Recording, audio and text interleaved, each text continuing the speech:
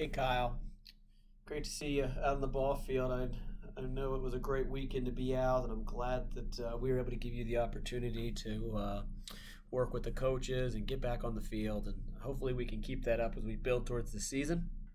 Uh, I want to compliment you on the video you sent last week. It was uh, one of the one of the better swings. I really enjoyed looking at it, and so getting to see this again um, you know, I'm really going to be looking with you to, to pick up on some of the finer finer points. And uh, after looking at the video, I think I've found one thing that's really going to help you. And uh, I'm really encouraged because there's so many things going right with your swing that I think making some minor adjustments are really going to pay off.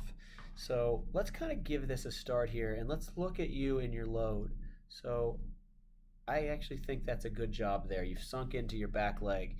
I, I like that as a load position. So good start to your swing. Now, as we go into it, I'm going to just kind of play it through, and I want you to see one thing you do well first. So there, as you move forward, look at that movement from the hip rotation. That's really good. That's probably the best part of your swing, really, is your weight transfer. But in order to get the most out of this, we got to time this better. So Kyle, watch as we go forward. When your heel strikes, right there, you started your hands too early. And so what happens is, as we kind of go forward, your hands get way out in front of your hips.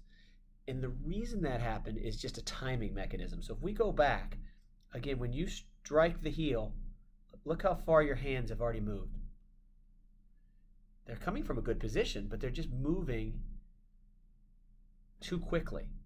When that heel strikes, you with your hand should still be here, not there. Okay? And again, it's just timing.